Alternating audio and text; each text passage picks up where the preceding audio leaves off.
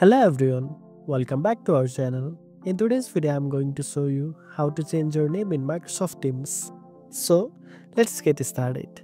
First of all, open the Microsoft Teams app and make sure you are logged in. Now click on your profile picture or initials in the top right corner. From the drop down menu, hover your cursor over the pen icon that says Edit Display Name. Then click on it.